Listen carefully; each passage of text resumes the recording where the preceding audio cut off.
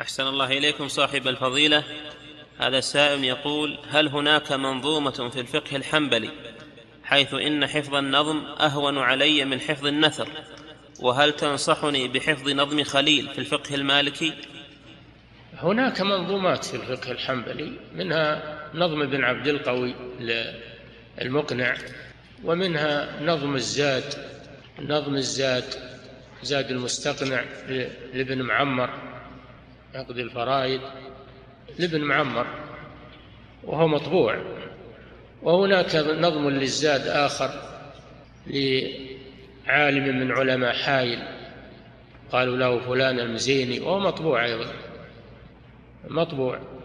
وهناك نظم أيضا لابن لابن عتيق وابن سحمان كلهم كلها مطبوعات. نعم. أحسن الله إليكم. وهناك نظم المفردات. مفردات الإمام أحمد.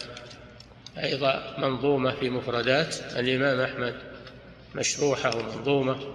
ويذكرون أيضا فيه نظم للزاد لشيخنا الشيخ عبد الله الخليفي رحمه الله. أنا ما شفته لكن يذكرون.